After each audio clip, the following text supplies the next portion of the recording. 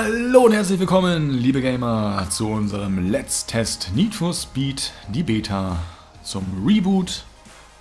Es ist eine Closed Beta. Ich wurde dazu mit einigen anderen, tausenden anderen eingeladen von EA an dieser Beta daran teilzunehmen. Und das machen wir auch. Ich habe das Spiel ja schon mal auf der Gamescom anzocken können. Wir sind hier im Menü und wir wollen das Ganze jetzt auch einmal beginnen. Tja, Generation Gamer Beta für alle, die es jetzt noch nicht wussten, spätestens jetzt mitten im Bild seht ihr immer noch am linken Bildschirmrand jetzt immer noch erinnert, dass es eine Beta ist. Das bedeutet, qualitativ muss es noch nicht dem Endprodukt entsprechen, aber es geht auch schon mal um die Surferstabilität und auch um das Spielgefühl, so im Großen und Ganzen. Und wir wollen uns das mal so ein bisschen näher anschauen. Und es lädt und es lädt und es lädt. Aber ich bin positiv gestimmt, dass es gleich losgeht. Und dann lasse ich die ersten Bilder mal so ein bisschen für sich stehen. Und würde mal sagen, willkommen zu Need for Speed.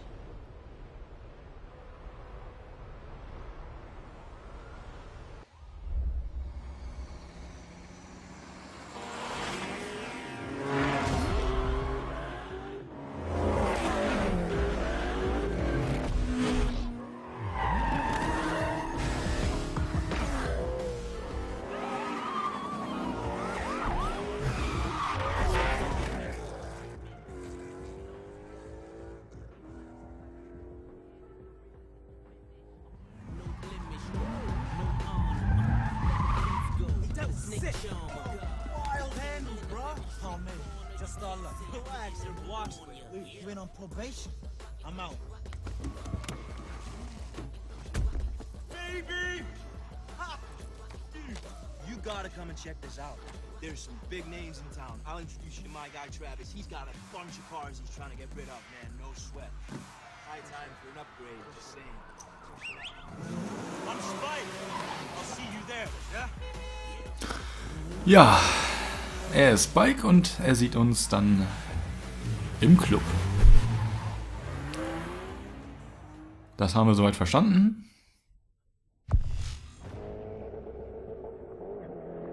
Prelude. Jetzt müssen wir wahrscheinlich hinfahren, so wie es aussieht.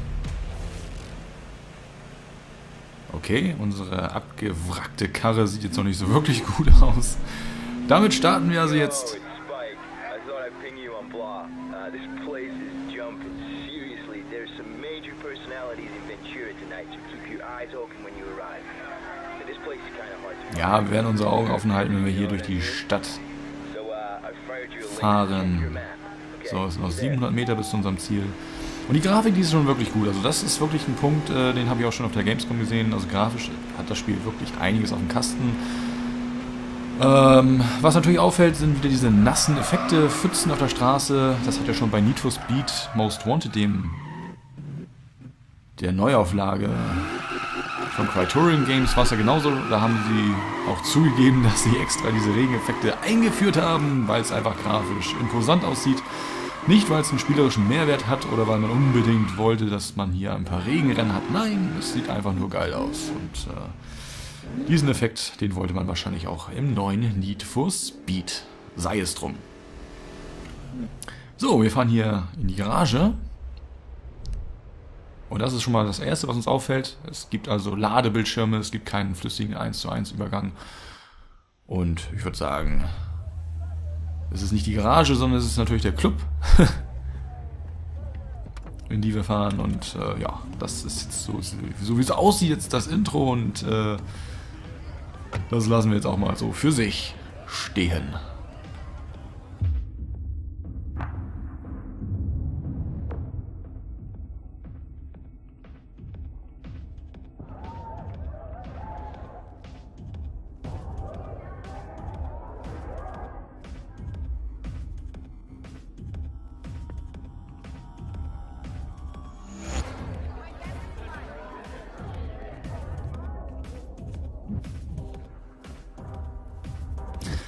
Ja gut, jetzt werden natürlich die ganzen Persönlichkeiten hier vorgestellt.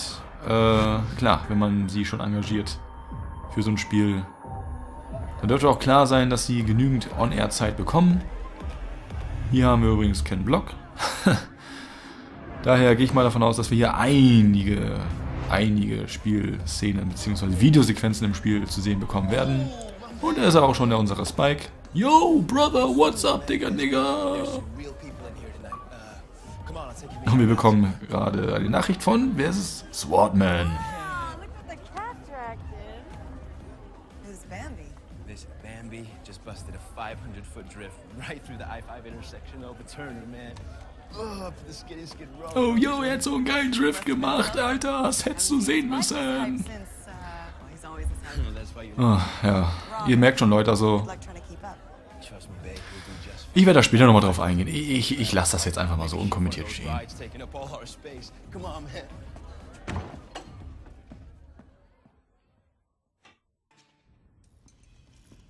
What's up, Ames? What's up? That's Amy. Isn't she lovely? Ooh, love you too, babe.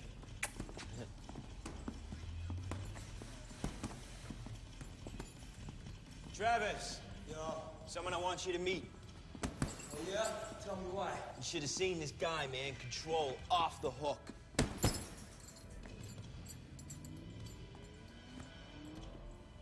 Well, you seem to have caught the eye of Speed Racer over here. Truth, man. This one's a helmsman. You picked a good time to re-up. There's some top-grade talent in town who's ready to make history. Serendipity, brother. Stars the stars aligning. Never a better time to start a project, Bill. So whatever's happening under that rib cage in here, it's time to start expressing it out there.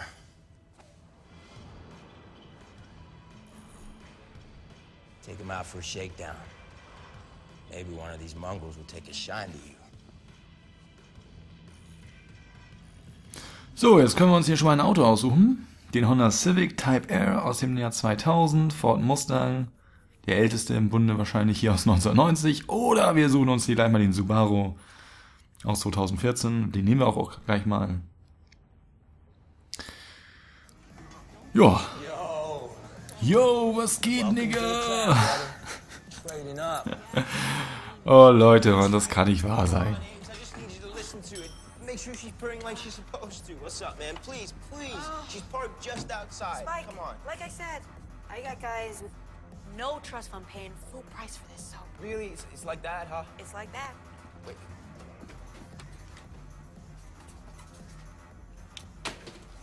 There. Wow, wow, I, I feel so much better now. I'm good for it. You know that. I mean, your dad's good for it. Easy. This jacket was like 1,200 bucks. Exactly, man. Oil, man. Don't matter if you're the best M driver this side of the 101. As far as she's concerned, don't mean a thing if you ain't got that green. It's very poetic, and that is that is also true. So You ready to make some house calls? Come on, man. I'll meet you out front and we'll give you the tour. So, na gut. Wieder ein Ladebildschirm. Also gefahren sind wir jetzt eigentlich bis auf 30 Sekunden noch gar nicht. In den letzten 10 Minuten. Eigentlich haben wir hier nur Filmsequenzen geguckt. Und äh, ja. Aber jetzt sieht es aus, als dürften wir mal fahren. Und tatsächlich, wir fahren auch mal. Und jetzt geben wir hier mal ein bisschen Gas. Hier geht es jetzt in einem Sprintrennen darum, hier Checkpoints zu absolvieren und zu durchfahren. Das war jetzt der zweite.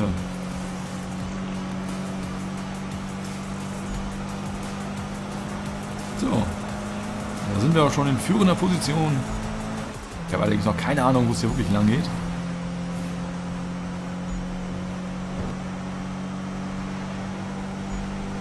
So, jetzt. Wow, wow, wow, wow, wow, wow, okay. Also steuerungstechnisch, äh, gut, getuned haben wir den Hobel jetzt hier noch nicht wirklich. Äh, oh, verdammt. Kommen wir hier nochmal irgendwie runter? Wahrscheinlich nicht, jetzt müssen wir umdrehen. So, dann machen wir es doch einfach mal. Hier nochmal ein kleiner U-Turn. schon der zehnte Checkpoint, also mit dem Sieg, glaube ich, wäre es jetzt nichts mehr, aber darum geht es jetzt auch nicht. Es geht jetzt einfach nur darum, unseren Leuten hier mal zu folgen. Und irgendwie habe ich das Gefühl, dass wir dann gleich in 300 Metern die nächste Sequenz sehen. Und, ähm, aber hey, ich lasse mich überraschen. Das, wie gesagt, auf der Gamescom, da gab es eine 10-Minuten-Demo, da konnten wir eigentlich nur fahren. Da gab es überhaupt keine äh, Zwischensequenz. Da ging es nur darum, um zu schauen, wie die Grafik von dem Spiel ist, wie das Tuning ist. Und hier geht's weiter. Survived a second race against Spike, huh? Guess I underestimated you. Survive? No, no, no.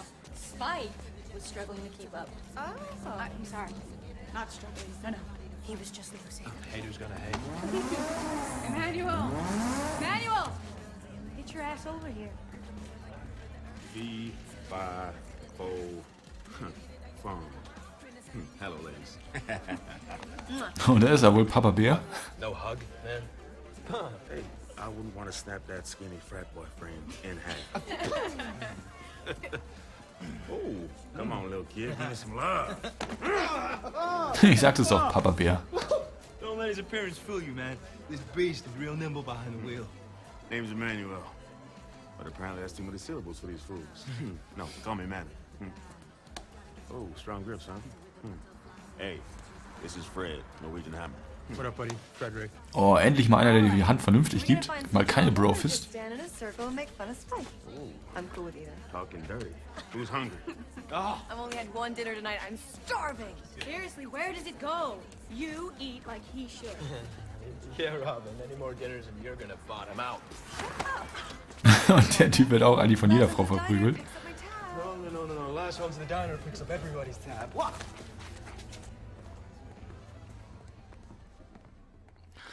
Ja, jetzt fahren wir mal ins Diner, so wie es aussieht. Ins Schnell... In Sch äh, Schnellfood-Restaurant, wollte ich gerade sagen. Diner Dash. Der Letzte, der bezahlt. Okay, wir dürfen wieder fahren, Leute. Wir dürfen fahren für 2,3 Kilometer bis zum Diner. Und ich glaube, dann geht's wieder weiter mit einer Cut-Sequenz. Aber hey, wir schauen uns das einfach mal an. So, boah. Da wäre ich fast in den Gegenverkehr gerauscht. Hallo. Die Steuerung ist jetzt aber wirklich noch nicht so das Wahre. Sehr schwammig. Aber hey, das liegt wahrscheinlich auch daran, dass wir noch nichts wirklich an diesem Auto gemacht haben. Also auch die Fahrzeughöhe, das Fahrwerk selbst. Alles noch sehr OEM, also sehr standardmäßig, Original, Serie. Aber okay. That's it. Damit müssen wir jetzt also leben. Sind wir halt die Letzten am Diner. Wir sind ja, wir haben ja die Spendierhosen an. Dann spendieren wir denen einen Burger oder was auch immer es da gibt. Wow!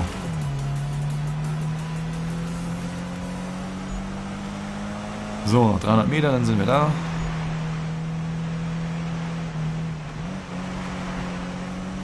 Gibt es erstmal was zu futtern.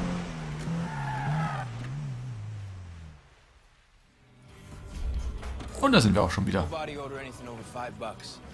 It's a diner. Everything's over five bucks. And no dessert, man. Mm, I'm out to get out there and find some competition. Just waiting for the 411 on the location. Nah, I was thinking of heading back up to the club. You should come. Dude, what? The streets are slick and the night is young. I'm racing tonight. No, I'm gonna head back to the shop. Uh, you wanna tag along? We can set you up some space. Ooh, she gonna spiff you up, bruh. Jealous, Spikey? Yeah, I like I'm jealous of people who drive at the speed limit. You wanna Travis tonight? Oh, yeah, he had uh, someone to meet. Can't knock the hustle. Magnus Walker's in town. You see him and Travis talking at the club? Oh, so that's why Spike's in a hurry. Got himself a date. A date with destiny, my man. Tonight, we ride. You can show us what you're really made of. Yeah? Yo, Brofist! Bitches! Oh Gott. Also ich weiß nicht, wie viele gefühlte hunderte Mal man sich hier die Brofist gibt. Äh, dieses möchte gern Gangster-Getue, ich weiß nicht. Also ich weiß nicht, wieso man hier wie so ein Klientel aufarbeitet von EA kann man das nicht vernünftig machen? Jetzt kriegen wir hier einen Anruf von Amy.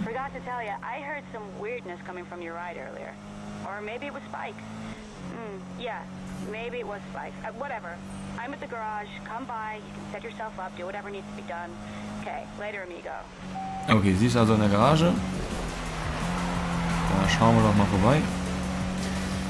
Ja, ich weiß nicht, also dieses Yo, Bro, Motherfucker, Bitches. Ich habe keine Ahnung, warum man hier wieder so einen Mist verzapft. Äh, die Darsteller sind alle körperlich, vom Alter her würde ich mal behaupten, von Anfang Mitte 20 bis Anfang Mitte 40. Äh, geistiges Alter ist aber irgendwo so zwischen 15 und 18, wenn überhaupt. Ich weiß nicht, ob das jetzt sein muss, um die jüngere Zivilgemeinde damit zu erreichen. Kann man das nicht auch irgendwie anders regeln? Ich meine, letztendlich sind wir der namenlose Held. Wir, wir staunen das Ganze aus der Ich-Perspektive. Ich bin ehrlich, ich kann mich damit nicht wirklich identifizieren. Das ist nicht so wirklich meine Welt ich kann mich wirklich nur ganz schwer in diese Rolle hineinversetzen, äh, Teil dieser Crew zu sein, weil das bin ich einfach nicht. Und ja, ich ahne auch ehrlich gesagt schon Schlimmes. Ich meine, das ist jetzt nur die Beta, aber ich denke mal, wir werden nachher wirklich viele Cut-Sequenzen sehen. Ansonsten hätte es auch keinen Sinn gemacht. Ich meine, EA hat auch nichts zu verschenken. Die werden mit Sicherheit keine Darsteller einstellen um dir nachher nur 5 oder 6 Minuten Videozeit zu gewährleisten. Äh, das, das wird schon irgendwo auch auf dieser ganzen Thematik aufbauen. Und dementsprechend oft werden wir mit Sicherheit auch Ladebildschirme sehen, wir werden mit Sicherheit auch solche Sequenzen sehen. Wir sind in der Zwischenzeit im Übrigen jetzt mal bei der Garage angekommen, wo uns ja Amy eingeladen hat. Sie wäre in der Garage, wir sollen mal vorbeikommen. Das haben wir gemacht. Nach drei Kilometern Fahrzeit dürfte es also jetzt mal wieder Zeit sein für eine kleine Cut-Sequenz. Ja, und da sind wir auch schon.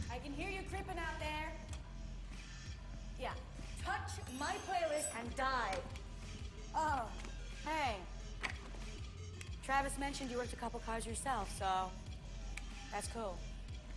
Uh, okay. One house rule. Use whatever tool you want, honestly. Just put them back where you found them. Other than that, knock yourself out. Uh, oh, this is my latest obsession. Here. So, ihr neuester Stolz.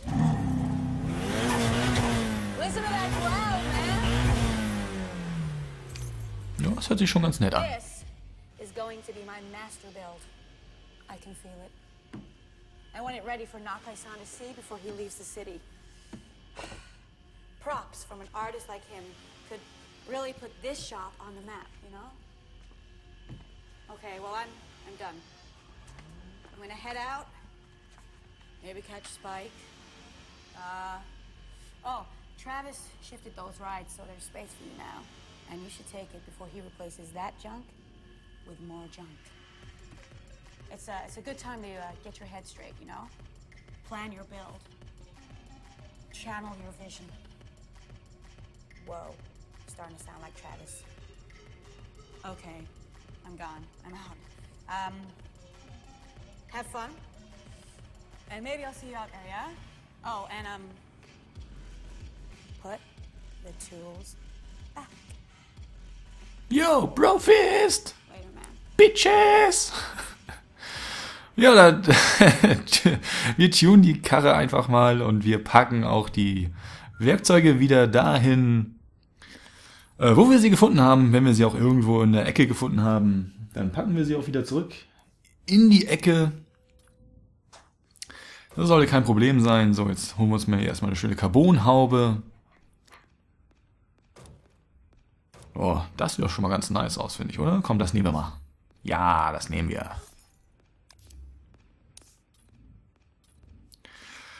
So, und das ist, wie ich finde, das haben wir auch schon auf der Gamescom aus, ja, ausgiebig nicht, aber auf immerhin schon mal testen können. Auch wenn das zeitlich beschränkt war. Trotzdem, vom Ersteindruck her würde ich sagen, ist das nach wie vor der stärkste Part des Spiels. Das Tuning, es macht wirklich Spaß, denn es motiviert, all diese Teile freizuspielen. Wenn ich mich zurückerinnere an Underground und Underground 2, wie viele Tuning-Teile es gab und was auch die Entwickler von Ghost Games hier versprechen, wie viele Parts es wirklich individuell für jedes Fahrzeug geben wird. Man muss sich das nur mal alleine auf der Zunge zergehen lassen.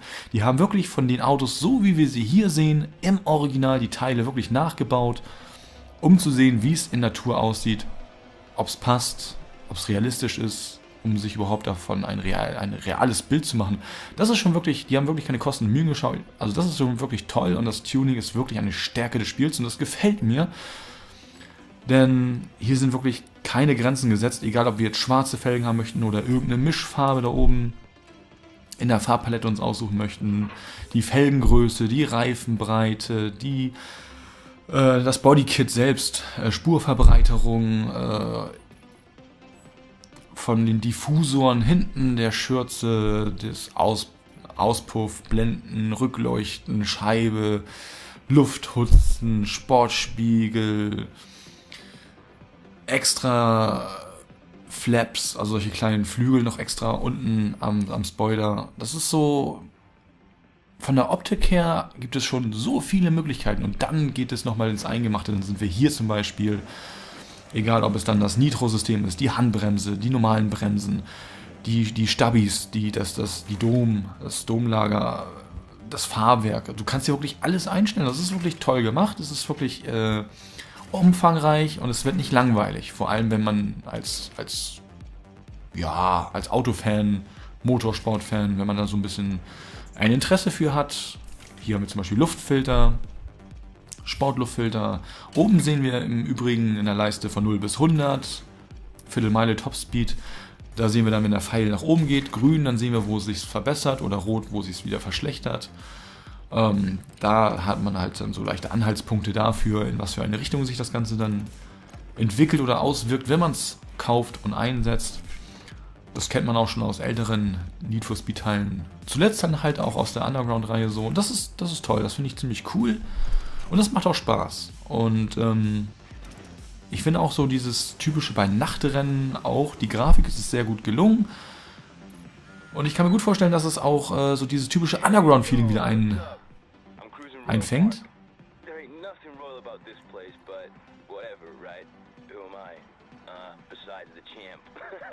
So.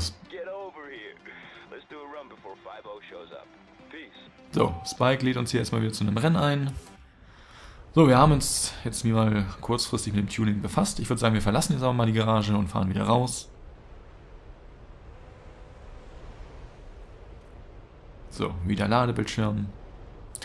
Was ich auch ziemlich awesome finde, ist, dass man mitten im Spiel immer noch sieht, jetzt oben im Bildschirm unter Pre-Release Beta Software ist immer noch als eine Art Wasserzeichen Beta Generation Gamer einge eingeblendet.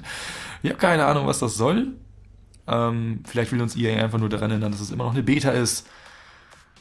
Ich weiß, dass das eine Beta ist. Ihr wisst es auch. Und ich würde sagen, ich mache für heute erstmal Schluss. Ich werde nochmal den zweiten Part raushauen. Ich werde jetzt nochmal ein paar Stunden spielen.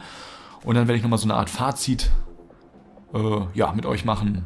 Für heute soll es das aber erstmal gewesen sein. Ich bin der Generation Gamer G6. Ich zocke jetzt noch ein bisschen Need for Speed, die Beta. Ich sage Tschüss, bis zum nächsten Mal.